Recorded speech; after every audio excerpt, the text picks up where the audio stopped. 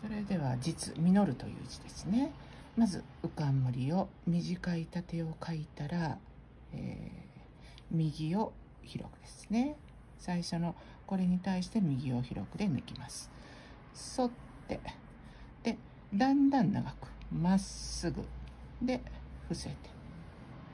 そしたらまっすぐの線を、えー、まずまっすぐに3つの線を過ぎるまでまっすぐに近い感じ。この3本目の線を過ぎたら45度ぐらいで曲がって払ってきます。そしたら最後の線はその左の線の角度位置を合わせて横に抜いてください。